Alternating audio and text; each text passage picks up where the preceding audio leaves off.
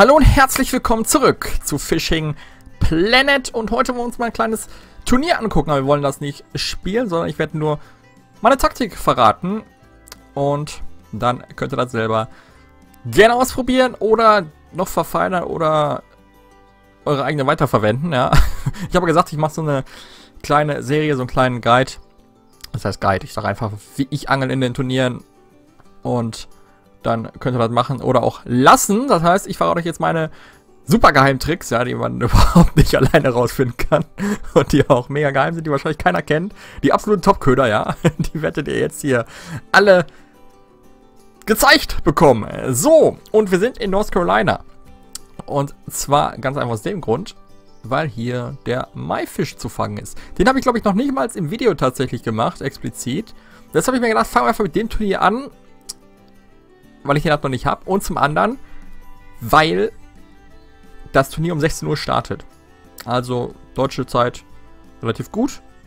Die ersten kommen von der Arbeit. Ist halt ein bisschen blöd, dass man sich von der Arbeit aus nicht registrieren kann, weil man, wenn man bis 16 Uhr arbeiten muss, das Turnier gibt bis 18 Uhr. Man hätte vielleicht noch Zeit, am Turnier teilzunehmen, aber man kann sich halt nicht anmelden. Ich habe den Entwicklern schon geschrieben, dass sie das doch vielleicht mal einrichten sollten, dass man sich irgendwie anders registrieren kann als über Ingame-Anmeldungen, damit man sowas noch schafft. Aber keine Ahnung, vielleicht kommt es, vielleicht nicht. Wir werden es sehen. Es geht auf jeden Fall erstmal ums Turnier. Das gucken wir uns erstmal an. Wo haben wir es denn hier? Breaking Chat is it.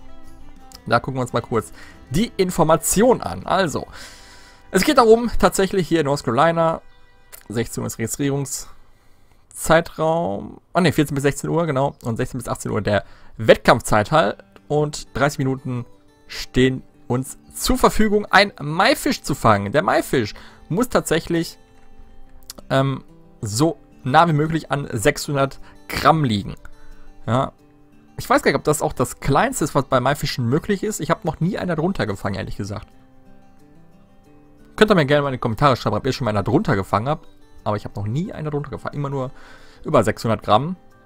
Ähm, genau 600 Gramm ist auf jeden Fall möglich. Ich weiß gar nicht, was war heute für Platzierung. Ah, hier, Asmod gewonnen. Glückwunsch an dich, mein Freund.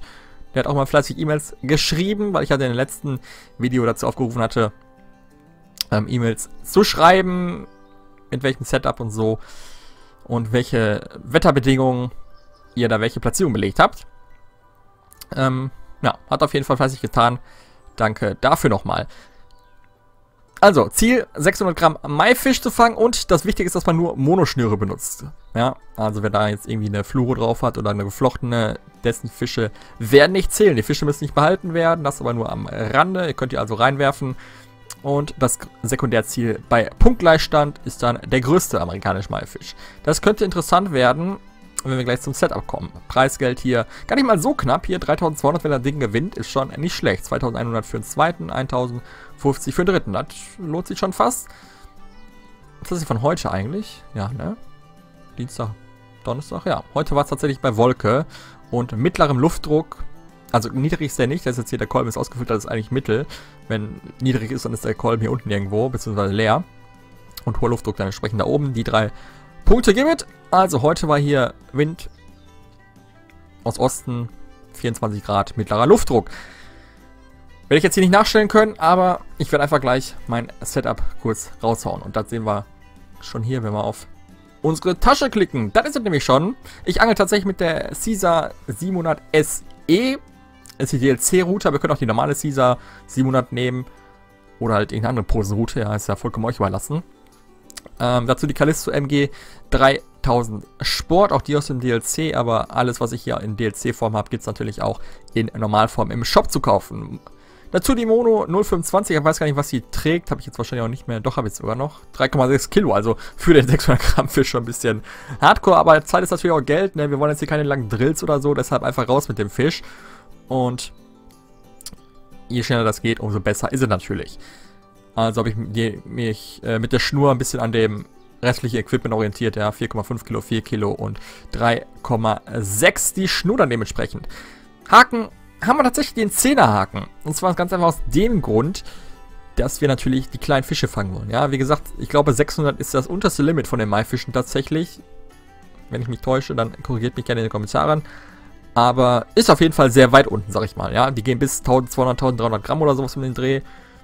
Und da ist 600 Gramm auf jeden Fall äh, deutlich unten. Deshalb den kleinsten Haken, den man hier tatsächlich kaufen kann, wenn sie das nicht mittlerweile gepatcht haben, aber ich glaube, es ist der kleinste Haken, den es aktuell gibt. Und damit wollen wir die natürlich fangen, weil wir damit dann die untere Spanne tatsächlich der Fische fangen. Ja, also ich glaube, 1,2 Kilo Fisch mit 10er Haken ist mega selten, wenn überhaupt möglich. Ich weiß es gar nicht. Ähm, also so Kilo Fische kann man damit schon fangen, kommt aber auch ein bisschen auf den Köder an. Denn der Köder ist entscheidend. Ihr könnt zum einen die Garnelen benutzen. Die benutze ich eigentlich so gut wie immer. Also fast ausschließlich, würde ich sagen. Ab und zu wechsle ich den mal, aber dazu kommen wir gleich. Denn mit den Garnelen fängt man halt selektiv Maifisch. Ja, man fängt nichts anderes, kein Beifang, kein gar nichts. Ich glaube vielleicht sogar noch den Barsch eventuell als Beifang, aber an den Spots, wo ich angel, habe ich noch nie einen Barsch gefangen. Ähm, deshalb ist das eigentlich relativ gut den zu benutzen, weil man damit einfach die Maifische zieht, ja. Dann könnt ihr noch nehmen, tatsächlich, den Blutköder könnt ihr benutzen. Ich glaube, da hält sich der Beifang auch in Grenzen aus. Ihr kommt halt in den Bereich, wo ihr dann Rot- oder Sonnenfische fangen könnt. Also wenn ihr ein bisschen vor dem Spot, den wir gleich sehen werden, angelt, dann könnte es passieren, dass ihr den als Beifang habt, aber sonst eigentlich nix. Ähm, ähm, Spawnsack geht auch. Lachseier geht, damit könnt ihr die, glaube ich, auch selektiv fangen. Und, und, und. Mückenlarven gehen auch. Regenwurm geht auch. Also das sind halt dann die Dinger, wo ihr dann auf jeden Fall viel Beifang habt. Aber mit Mückenlarven habe ich zum Beispiel auch relativ kleine Fische gefangen. Hm. Ich glaube auch irgendwie ganz knapp über 600 habe ich mit Mückenlarven mal gezogen, aber der Beifang war einfach zu krass damit. Deshalb habe ich dann umgestellt auf die Garnelen hauptsächlich und das Ganze 80 cm tief. Ja, ihr könnt auch 50 cm nehmen oder sowas, also da seid ihr ein bisschen, ist halt euch überlassen. Die beißen schon in so einem Rahmen von keine Ahnung, lass mich lügen, ja, roundabout 40 bis, was weiß ich, 1,30 oder so, keine Ahnung. Ähm, ich angle meistens bei 80 cm, weil da einfach die Fische beißen und deshalb verstelle ich da nicht zu viel. Es sei denn, es kommen keine Wisse, da muss man natürlich anfangen rumzuspielen und rum zu experimentieren. So, aber wir wollen jetzt erstmal die Spots angucken. Dazu gehen wir einfach mal hier in den Spot, wo auch die einzigartigen Rotohrsonnenfische tatsächlich zu fangen sind. Denn da wollen wir natürlich hin.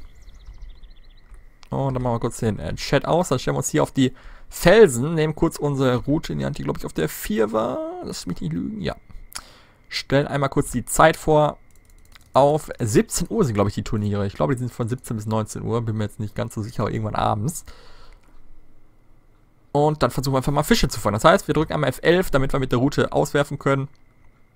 Ähm, breite Pose ist noch wichtig. Ihr könnt auch die Ovale nehmen. Mit Ovalen kommt ihr, glaube ich, auch so an die 20 Meter. Oder 21 sogar. Das ist nämlich wichtig, weil so weit müssen wir kommen. Und dann sind wir hier die Spiegelung von dem Felsen. Ja, hier zack, zack. Die macht hier so eine Kurve und ich werfe einfach immer genau hier so in den Spiegelungsbereich rein. Meistens nach links, weil die Pose eh nach rechts abgetrieben wird durch die Strömung. Und dann irgendwas 20 bis 25 Meter oder sowas um den Dreh. Jetzt haben wir 24. Und da sollten wir dann gleich auch schon ein Maifisch an Land ziehen. Da geht schon los. Ja, die Pose zappelt auf Garnele. Das ist ein sicheres Indiz für den ersten Maifisch, der sich da anmeldet. Müssen wir natürlich hoffen, dass der dann auch abziehen möchte. Aber es tut mir den Gefallen nicht.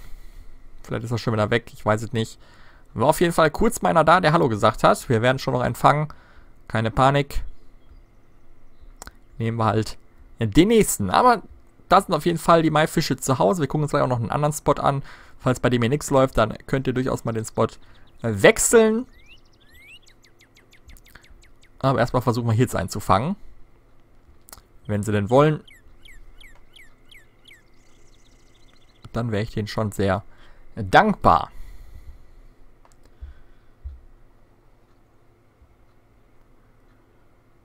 Kommt meine kleinen Maifische. Wenn so im Turnier läuft, dann hat man nicht mal verloren bei dem Turnier tatsächlich. Weil das Gute ist halt, dass man hier nicht so viel auf Masse fangen muss. Da ist das äh, One-by-One-Turnier in North, äh, North Carolina, da sind wir jetzt gerade, in Colorado. In Colorado mit den kleinen Fischen, wo man einen am anderen fangen muss. Viel, viel anstrengender von der Konzentration her, wenn man da wirklich aufpassen muss. Aber wenn man das einmal raus hat, dann kann man da immer eine relativ gute Platzierung raushauen. Ich bin da, glaube ich, locker immer Top 10 gewesen, wenn ich damit gemacht habe. Also da hat man immer seine, was weiß ich, da zieht der erste Maifisch ab. Seine 35 plus Fische hat man auf jeden Fall immer locker safe. Und hier haben wir den ersten Maifisch und der wiegt Okay, ich habe keine Lizenz. Aber da sehen wir es schon. 645 Gramm, das ist schon mal nicht so schlecht, ja, für 600 Gramm, was benötigt geworden, äh, gewesen wäre. Wenn man bedenkt, dass sie bis 1,2 Kilo hochgehen, ist das schon okay. Ja, also für den ersten auf jeden Fall. Damit wären wir schon mal gut dabei. Irgendwo, ja, ich sag mal, oberes Drittel, ja. also gewinnen wir damit nicht, aber für den ersten ganz okay. Ich werde mal schnell eine Lizenz kaufen, denn sonst können wir hier keine Fische fangen, sonst muss ich gleich Strafe zahlen. Das wollen wir natürlich auch nicht. Ähm, ne. Da kaufe ich erstmal schwarzbarschig Idiot, die brauchen wir schon mal gar nicht. So, aber da mal gesehen, da war der Maifisch. Fangen wir einfach nochmal ein. Und gucken uns nochmal an, wie groß der dann wird. Aber normalerweise fängt man die so in dem 700, 800 Gramm Bereich, sage ich mal.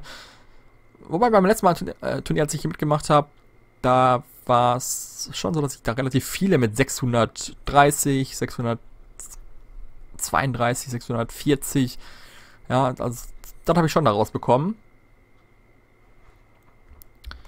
Und da kommt auch schon der nächste, der sich da anmeldet.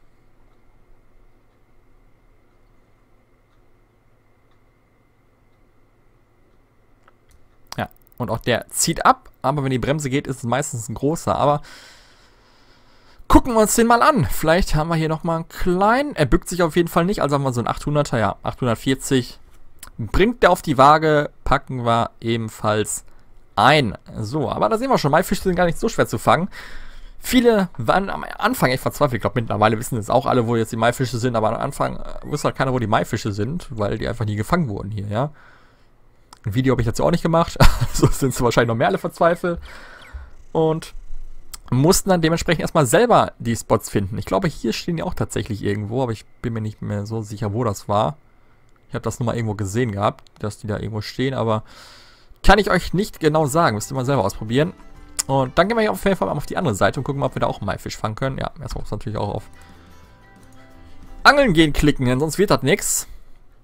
Also ihr könnt natürlich dann von hier angeln, weil das ist quasi, ja, ich stehe normalerweise vorne auf den Stein, das könnt ihr quasi hier so hinwerfen. Ich habe tatsächlich versucht, die hier zu stippen. Aber irgendwie klappt das nicht. Ja, also mit F11. Das wäre natürlich noch optimaler gewesen, wenn ich hier tatsächlich in den Bereich gekommen wäre. Aber ich, ich finde den halt nicht. Ich weiß nicht, ob ich hier noch weiter hätte laufen müssen, aber hier werde ich halt vom Busch geblockt. Ähm, wenn ich halt hier so einfach auswerfen könnte und hier die Maifische ziehen würde, ja, das wäre vom, vom Zeitaufwand viel, viel, viel besser, als wenn ich den jetzt mal auswerfen muss, drillen muss, auswerfen muss, drillen muss. Da könnte man dann halt schon ein paar mehr Maifische in der Zeit fangen. Aber wie gesagt, ich habe es bis jetzt nicht geschafft, hier einen zu überlisten. Jetzt sieht das hier gerade auch so aus, als wenn da nichts passiert. Ich muss mal ein bisschen rumprobieren. Eventuell findet man den Spot irgendwie. Aber vielleicht ist es einfach ein bisschen weiter draußen. Oder ein bisschen weiter nach rechts. Ich habe keine Ahnung. Ich glaube, ich bin ja einfach schon ja, wobei zu weit hinten auch wieder nicht, weil wenn ich den Köder treiben lasse, dann kommen auch noch Bisse. Also normalerweise müssten die hier echt sein, aber ich habe echt nicht geschafft bis jetzt. Also, ja, das sind halt so Sachen, da muss man im Turnier halt immer gucken, was dann halt auch zeiteffektiver ist. Das ist ein wichtiger Faktor, vor allem bei den Turnieren, die dann wirklich auf Masse gehen. Ähm, wie eben das kleine Turnier mit den Kleinfischen. Ich glaube, das werden wir als nächstes dann auch mal kurz machen. Da zeige ich euch mal kurz meine Taktik, auch wenn ich dann wahrscheinlich arge Konkurrenz bekommen werde um meinen sicheren Top 10 Platz. Aber ist mir egal, darum geht es mir ja nicht. Ich möchte, halt, wobei ich könnte auch von hier angeln, ne? Ach, schreibe ich dann jetzt so hoch?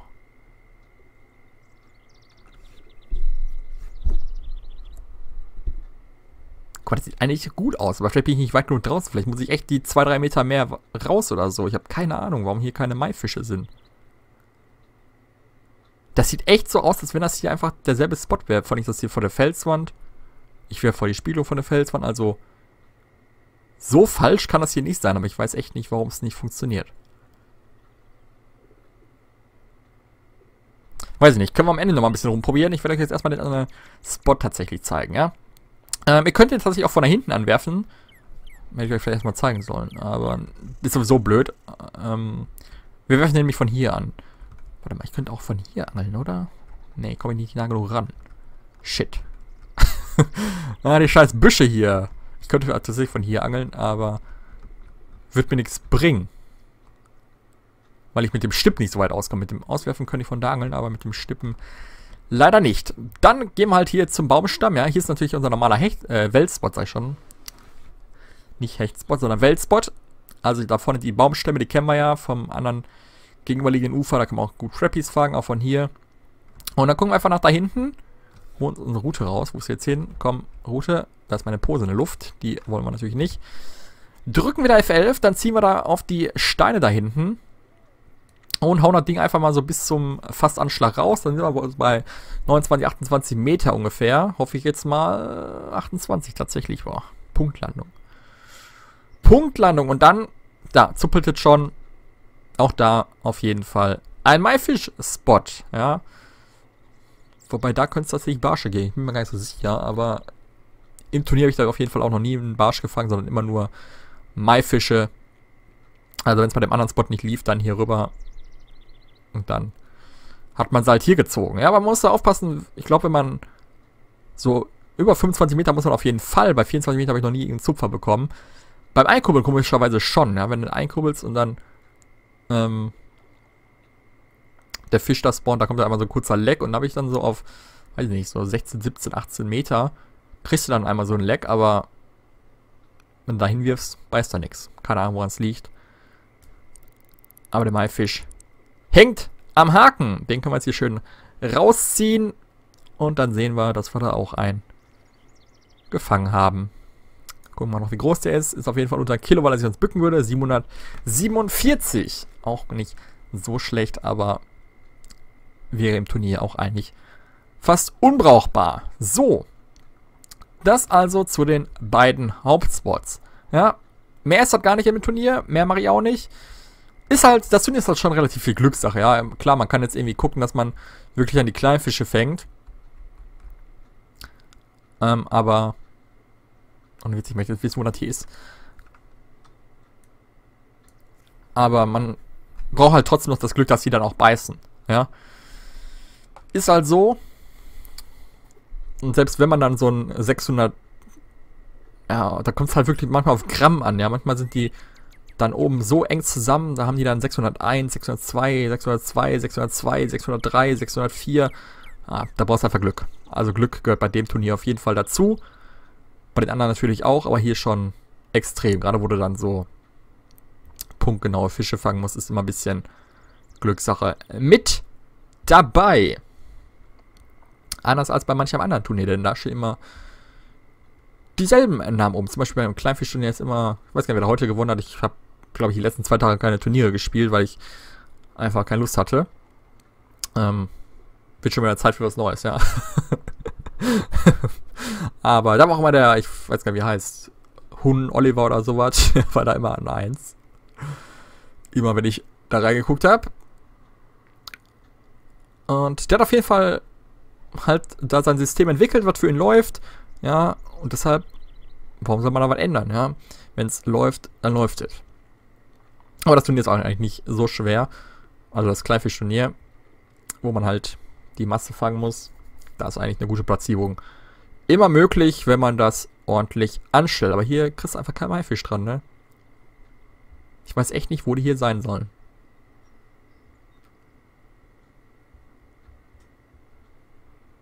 Keine Ahnung. Das muss ja eigentlich der Spot sein, aber von der Seite beißen die nicht. Da muss ich noch. Ne, ich muss nicht weiter. Ich gucke mir das jetzt von der anderen Seite nochmal an, ja. Ist immer ein bisschen schwer, das abzuschätzen, wie weit man tatsächlich. Das, das, das täuscht einfach manchmal. Dass man da denkt, ja, das müsste passen, aber irgendwie passt das dann doch nicht. Guck mal da, ja. Da stehe ich, neben dem Busch. Direkt neben dem Busch. Und ich werfe jetzt einfach dahin. Aber vor allem, ich habe ja manchmal da auch noch Bisse. Ja, hier, wo meine Routenspitze jetzt ist da muss man, ich glaube, man unterschätzt das echt. Man kann auf jeden Fall auch hier rüberwerfen. Ich glaube, so 31, 32 Meter oder so. Ich weiß es gar nicht. Ich komme einfach mal voll raus. Ähm, da muss man ungefähr. Es sieht halt ein bisschen behindert aus, weil dann halt ungefähr, glaube ich, an demselben Spot, wo wir gerade geangelt haben. Ähm, aber man sieht halt nichts, ja, deshalb angel ich ja nicht gerne. Weil man halt wenig sieht. Das geht bei dem Hechtturnier auch. Man kann auch durch die Büsche angeln. Das werde ich dann auch nochmal zeigen, wenn wir da beim Hechtturnier ankommen. Ähm, von wo ich da einmal angel, weil da eigentlich nicht vom Steg aus, sondern auch durch die Büsche. Da sieht man halt genauso viel und deshalb weiß man halt nie so genau, wo jetzt die Pose ist und. Aber guck mal da, ich glaube, da war sogar schon Fisch dran, oder? Oder ist das einfach nur. Ah, guck mal, Köder wurde zu weit weggezogen, Fisch ist weg. Also, Fische sind tatsächlich auch da vorhanden. Aber mir gefällt das nicht so gut, da über einen Baumstamm drüber. Aber wenn man nicht den Spot wechseln will, dann kann man das durchaus machen. Aber da kann doch nicht sein, dass ich von hier keine Fische fange. Ich stehe hier genau neben dem Busch. Das heißt, ich müsste eigentlich nur da rauswerfen. Wahrscheinlich muss ich einfach weiterwerfen, aber so viel weiter war ich doch auch nicht.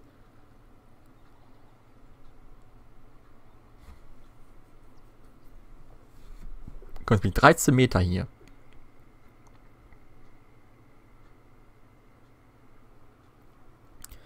Da muss doch irgendwann ein Fisch dabei sein.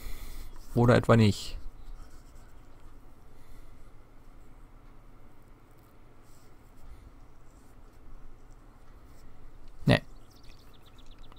Da tut sie nichts. Da tut sie nichts. Da muss ich nochmal ausprobieren. Das kann nicht sein. Ich habe die schon so lange rumprobiert. Aber von der Seite wollen die. Ich weiß nicht, woran es liegt. Anscheinend daran, dass ich den Spot nicht richtig lokalisieren kann, aber... Keine Ahnung, ich habe hier schon überall hingeworfen. Wenn ich tatsächlich weiter nach rechts werfe, dann klappt das, aber das kann nicht die Lösung sein.